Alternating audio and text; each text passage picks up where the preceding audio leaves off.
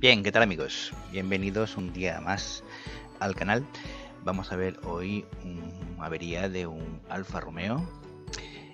Es un Alfa Romeo del año 2008, el modelo 147, con el motor 1900 eh, de 88 kilovatios. Código de motor 937A3000.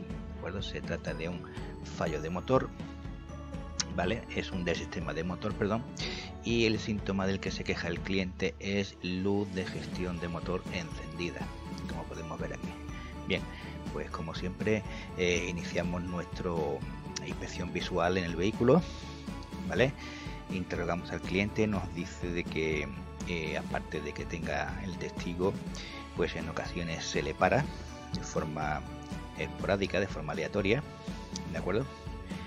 y bueno pues tras explorar el vehículo eh, no vemos nada extraño todo parece correcto y conectamos el escáner que nos da el código de avería P0335 que como todos sabemos pues es el código que da el sensor CKP también conocido como el sensor de revoluciones de cigüeñar o también le conocen como el sensor de encendido acuerdo? Y la descripción que nos da es, bueno, podemos verla aquí, nos dice que es sensor de revoluciones de motor, circuito abierto masa del sensor o cortocircuito a voltaje de batería o 5 voltios intermitente. ¿De acuerdo? Aquí faltaría los dos dígitos finales que nos indicarían que es un, una avería intermitente. Bueno, pues ¿qué toca hacer como siempre? Pues lo que hacemos es ir a nuestro programa de eh, datos técnicos, ¿de acuerdo?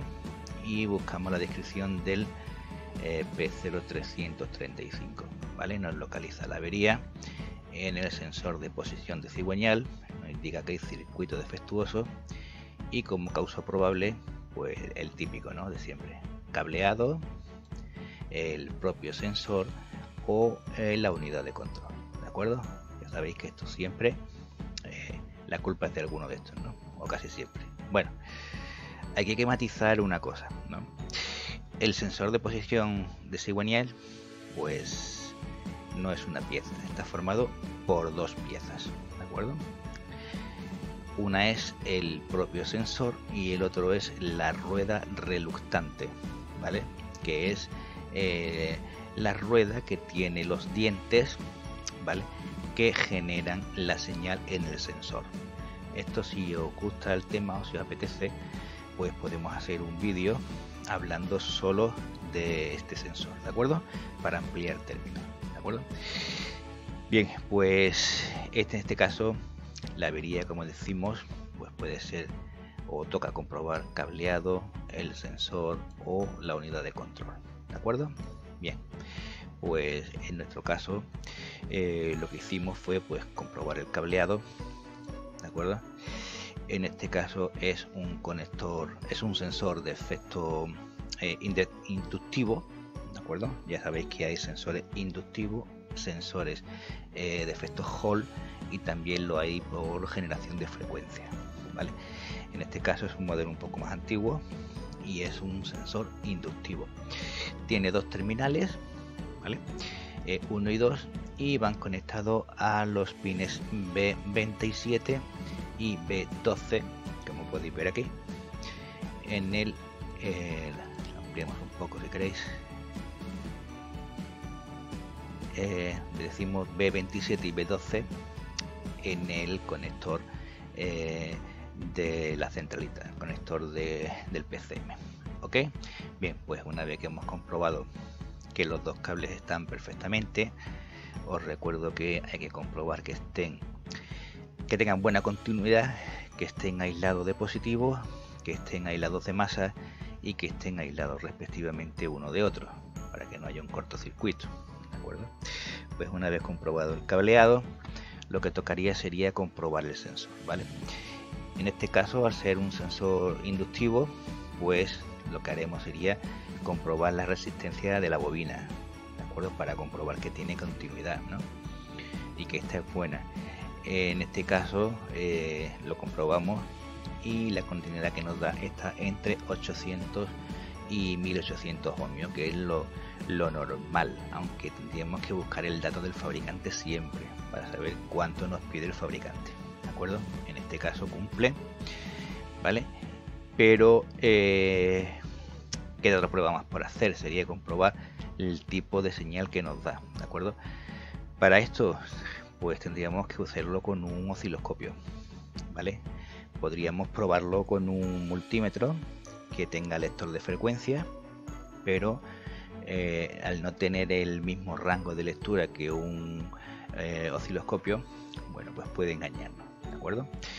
Porque puede haber algún pequeño salto intermitente que el multímetro no sea capaz de leer, ¿vale? Pero el osciloscopio sí lo mostraría, ¿de acuerdo?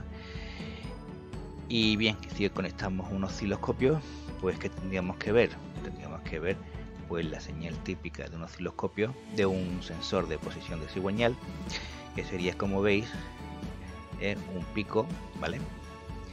Eh, de esta forma, como una especie de onda eh, sinuidal, ¿de acuerdo?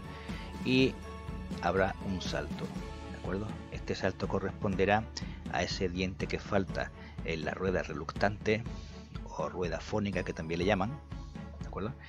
Y esta es la que le indica este salto es el que le indica a la centralita la posición exacta del, del punto muerto superior del motor, ¿vale? Que utilizará, pues bueno, para salto de chispa, inyección, adelanto de encendido, etcétera, como ya sabéis. ¿De acuerdo? Tendríamos que comprobar que estos picos de tensión son los que corresponden según el fabricante, ¿de acuerdo? Tanto arriba como abajo, y que tengan una separación y no haya saltos intermitentes en medio. ¿de acuerdo? Si hubiese un diente dañado, un diente por ejemplo que estuviese doblado, bueno pues en uno de estos, en una de estas posiciones, pues esta señal sería diferente, ¿de acuerdo? Sería más baja, sería más alta, depende de la deformación que hubiese ahí, ¿no? O sería el, el, el intervalo entre cresta y cresta sería más pequeño o más grande, ¿de acuerdo? Así que esto tendríamos que tenerlo en cuenta. Bien. En nuestro caso, eh, al ser una avería intermitente, como hemos visto antes, bueno, pues eh, y habiendo comprobado que la centralita está bien, porque la centralita funciona perfectamente, de hecho el motor dentro del vehículo entró funcionando, ¿vale? Pues decidimos por sustituir el sensor de posición de cigüeñal porque, bueno, como elemento más probable, aunque no teníamos una prueba concreta que nos señalará como culpable. ¿De acuerdo? Así que lo descartamos por probabilidad.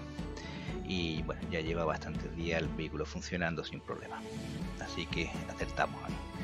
¿De acuerdo? Pero digo, esto es un caso especial porque eh, bueno, la avería era de tipo intermitente, además bastante esporádica, no, no era fácil de reproducir en el taller.